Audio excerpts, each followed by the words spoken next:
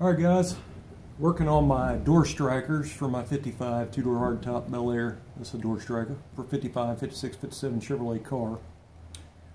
Maybe do the same on some other GM cars. I don't know. I know for sure 5, 6, and 7 though. Anyway, this is what one looks like. It bolts into your door jamb. Uh, you know, after you paint a car, you sure don't want to bolt something like that back in there. Uh, now they do sell these new. Uh, they sell a factory replacement and also there is a company making really awesome billet aluminum ones.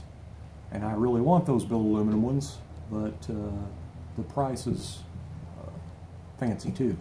Uh, I'll get them later, but I've got more important things to get right now than billet strikers. Uh, so I decided I'm going to try to uh, detail the ones, uh, my stock ones, and use them, and then later, when I have a little extra money, I'll get the billet ones. Anyway, so this is what I did. Uh, so this is your just what a factory one looks like. Now, they're basically made up of uh, four parts. They have a latch plate, uh, tooth plate right here. This is actually steel. The whole housing is pot metal. For years I thought this was aluminum. Uh, but anyway, it's pot metal housing with a tooth plate and it's actually steel. So anyway, I took uh, a drill bit the same width as that pressed over pot metal rivet head there and drilled it out a little bit and then removed the plate. Uh, and then I took a die grinder with a cone burr and I went around the edge of this pin head right here and then knocked the pin out. So this is what your pin looks like and it basically just goes in just like that holding that on. Now once you grind that head off uh, in the case of these, they had a hole here, so I stuck a punch in there and knocked that pin out. Uh, anyway, once you get the pin out, it's basically just three pieces. You have a spring and you have a little nylon guide. Now your nylon guide, it's uh, mine are in pretty nice shape, so basically just going to use like some 1000 grit or 1500 or 1200, just a little piece of sandpaper and sand them down a little bit and then use Mother's Mag and aluminum polish with a microfiber rag and it'll polish that make it look nice and shiny again. Now the spring, uh, these are a little bit, I've already cleaned this one up a little bit. They're pretty much were surface rusted. Uh, so what I, I've got a long old screwdriver that I don't even use it anymore, uh, but this fit over the end of that screwdriver just fine. Uh, so I spray painted uh, on it, basically, to hold it, you know, while I could spray paint it. But what I'm going to use is just chrome spray paint in a spray can. Uh, you could use just about any color you want. You could use body color if you wanted to. But uh, in my case, I just did them uh, chrome in a can. So anyway, once you get that drilled out and get your plate off, uh, at that point I ground the pad down right there about halfway because it's too tall otherwise. And then you can put the plate back on there. And I drilled and tapped it to 1032. Uh, the reason I did that is because I took the plate down to Lowe's a while ago and I just went through the stainless steel countersink Allen drawer until I found these that the head was actually perfect fit. I didn't want anything sticking up, uh, but the 1032 was perfect because it fits flush right even with it. Um, anyway, so I bought a four pack at Lowe's. I think it was like three bucks. They're Hillman. They are 1032 by half inch long, and they're countersink Allens, and they're stainless steel. So the reason I got that particular screw for that is because I had bought these several years ago. This is from Totally Stainless. This is for your door strikers and your door latches, and this is a hardware set, and this is all stainless steel countersink Allens. So I wanted it all to match. This is basically what it looks like, of the main bolts from the kit. Um, anyway, you'll have to sand and polish these because they are not polished. These are kind of dull. So a little bit of polishing heading my way. So this is what a factory uh, screw looks like. It's just a Phillips. And then here's the totally stainless with the Allen wrench head on it. It just looks more custom to me, a lot cleaner. Because, uh, you know, usually them Phillips ones, they burr out like crazy. But Anyway, so that's what I did there. Now, um, being as this is pot metal and this is steel, uh, I thought about having these chrome plated. Uh, but the money I'd spend on having these steel tooth plates uh, chrome plated, I could probably put just a little bit more and buy the billet aluminum strikers. So that's what I'm going to do.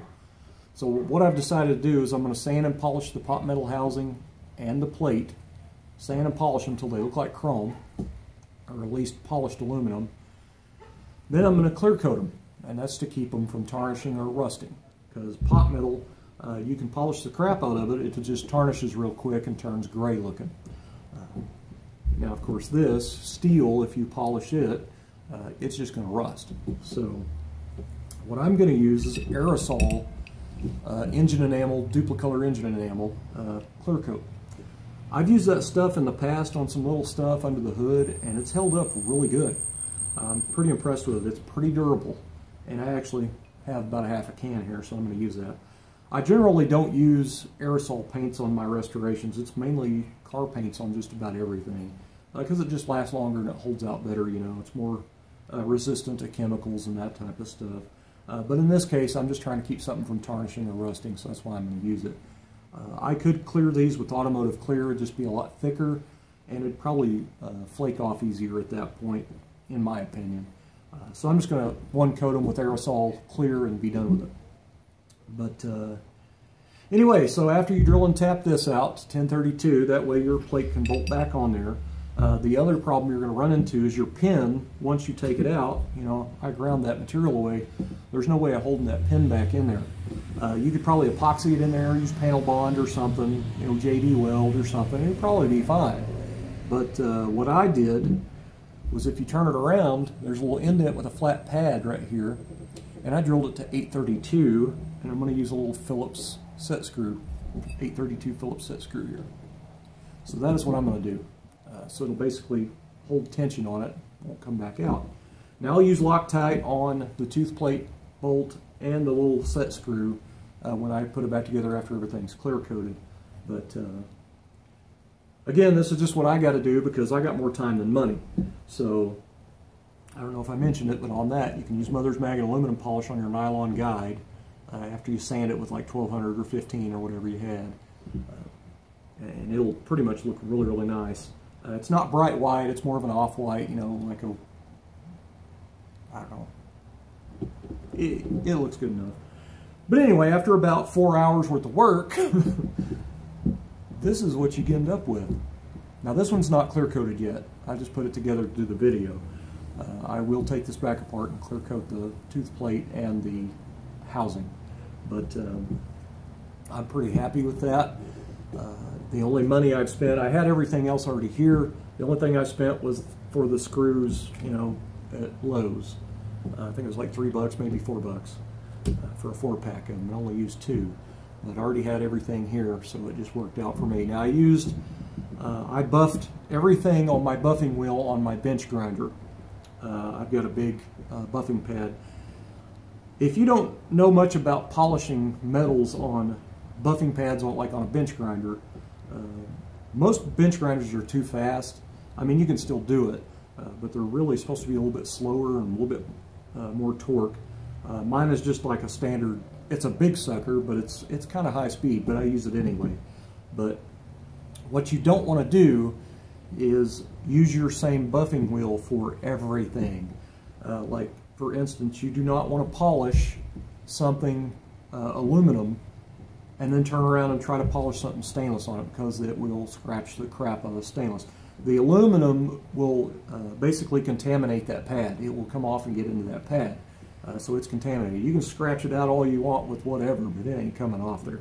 So uh, it will end up scratching your stainless steel. So what you need to do is you need two pads. This is just what I do. You can do whatever you want. I use uh, I have two separate pads and I wrote on them with a Sharpie. One says stainless, one says aluminum, and I keep them in big Ziploc bags. That way they don't ever get contaminated with paint or dust or whatever, and uh, I know what they're for when I pull them out of the bag. But anyway, keep that in mind. So anyway, once you're done, uh, pull those in there. Of course, it's dull. I need to polish that one, but uh, that's what you get when you're done. Uh, now I know when I put the clear coat on that, it's probably going to make it look a little bit different shade. It won't quite be as chrome looking, but I'm good with that. As long as it doesn't tarnish, I'm good. Uh, but anyway, the little spring there, uh, you know, they're pretty surface rusted. Uh, so I used a little wire wheel cleaned it up, and then I stuck it over a screwdriver and I painted it chrome in a can. So I may already mentioned that. I don't know. But your pen is also pot metal, so you can sand and polish it as well. But uh, anyway, I'm pretty happy with that for uh, nearly four hours worth of work. This one is, is ready for clear, other than I have to take it back apart. But uh, now, that four hours includes taking them both apart and drilling and tapping both of them. Uh, and then I've already Roloc Scotch Brighted this one, you know, to get the casting lines out.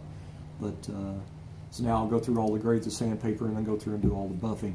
Uh, now I was a jeweler for several years, so in my house I have a bench set up in there and I have a flex shaft. So I have all these attachments that go in there and I used a combination. I used a horsehair brush uh, with green polishing, stainless steel polishing rouge on it, and also used a little small, like a Dremel style buffing wheels, uh, little ones, uh, to get down in all these edges and down inside this and everything uh, to make that look that way. Again, if you don't clear coat this, this will, the pot metal will turn really dark gray rather quickly, and this will rust very quickly.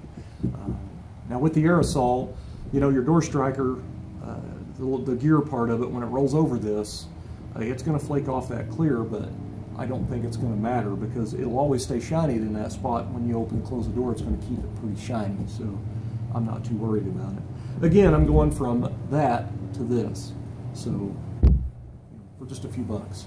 But anyway, I am pretty happy with it. Uh, I've said it a million times, I got more time than money, so this is just what I had to do, but uh, I'm going to be proud to bolt that in there at the end of the day.